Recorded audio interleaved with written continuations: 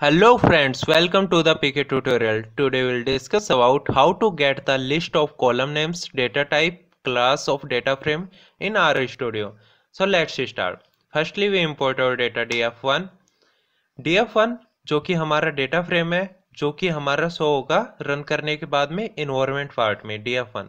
इसको ओपन करने के लिए सबसे पहले हमें यहाँ पे क्लिक करना होता है तो हमारा df1 डेटा फ्रेम जो है ओपन हो गया है इसमें हमारा वो डेटा होता है जो कि हमारा सी फ़ाइल के अंदर है।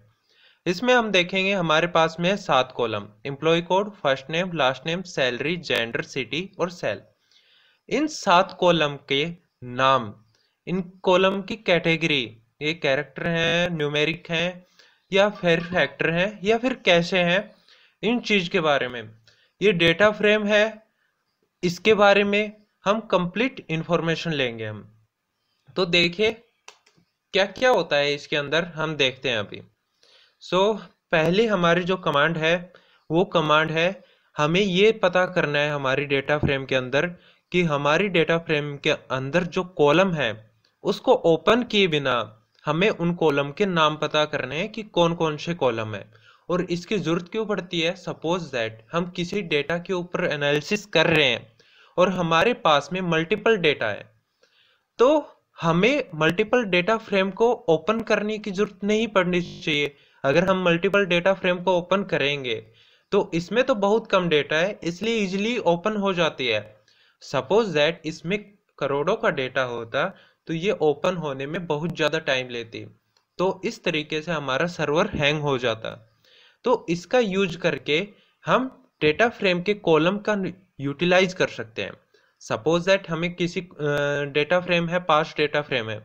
हमें पहली और दूसरी डेटा फ्रेम और चौथी डेटा फ्रेम इन तीनों का कॉलम चाहिए। तो हम वो कॉलम डायरेक्ट कोड के थ्रू ले सकते हैं। हमें इसके लिए डेटा फ्रेम को ओपन करने की ज़रूरत नहीं होनी चाहिए। तो देखते हैं कॉलम नेम कैसे लेंगे? तो इसके लिए एक कमांड होती है C O L N A M S column names इसमें हमें D F one data frame का नाम लिख देना है। तो हम देखेंगे हमारे पास में नीचे कॉलम के नाम आ गए। Employee code first name last name salary gender city और सेल और यहाँ से हम कॉलम नेम को कॉपी कर कर हम फ़िल्टर या फिर कुछ भी और किसी कमांड में यूज़ कर सकते हैं उसको। उसके बाद में हमें अगर देखना है कि इनकी क्लास क्या है, जो डी एफ़ वन है, इस, ये हमें पता है कि डेटा फ्रेम है, ठीक है? सपोज़ दैट हम इसकी क्लास चेक करते हैं। जैसे हमने क्लास चेक की D F one D F one की क्लास क्या आ गई? हमारे पास में डेटा फ्रेम आ गई। ठीक है? हम ये कह देंगे कि जो भी डेटा होता है, उसकी, ऐसे लिखा होता है, उसकी डेटा फ्रेम ही होगी। नहीं, ऐसा नहीं है।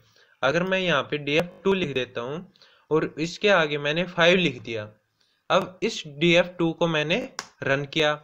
रन करने के बाद में डी एफ़ टू किसमें चला गया? वैल्यू में चला गया। अब मैंने इसकी क्लास देखी डी एफ़ टू की। डी टू की क्लास देखूँगा तो क्या मिलेगी इसकी?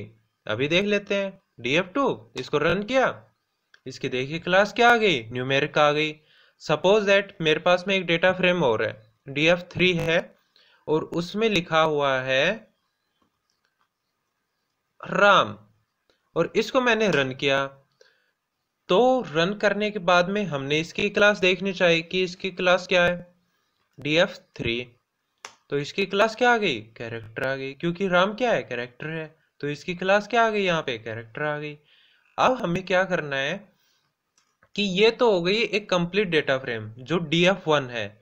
डी एफ़ वन के आगे बहुत सारे कॉलम भी हैं। डी एफ़ वन में क्या है? बहुत सारे कॉलम भी हैं। तो उन कॉलम की स्पेशली हमें डेटा फ्रेम की हमें क्लास देखनी है। तो हम यहाँ पे क्लास लिखेंगे, फिर डी एफ़ वन लिखेंगे। उसके बाद डॉलर का साइन और हमारे पास में ये कॉलर बहुत सारे कॉलम आ गए इस डी एफ़ वन के अंदर के।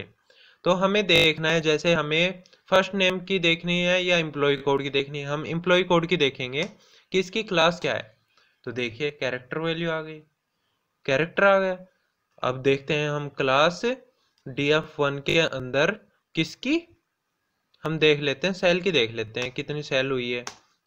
तो इसकी क्या आ गई? इंटीजर आ गई।